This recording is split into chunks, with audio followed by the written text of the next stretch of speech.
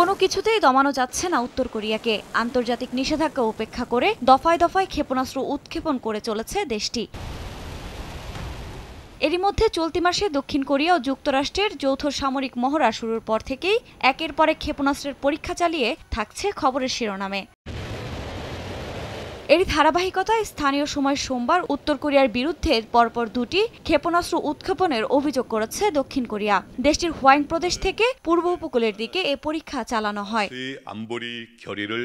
এই ঘটনায় গভীর উদ্বেগের পাশাপাশি তীব্র নিন্দা জানিয়েছে দক্ষিণ কোরিয়া। একই সঙ্গে পাল্টা ব্যবস্থারও হুঁশিয়ারি দিয়েছে দেশটি। পিয়ংইয়ং এর এই ক্ষেপণাস্ত্রের পরীক্ষা চালানো জাতিসংঘের রেজুলেশন লঙ্ঘন বলেও দাবি সিউলের।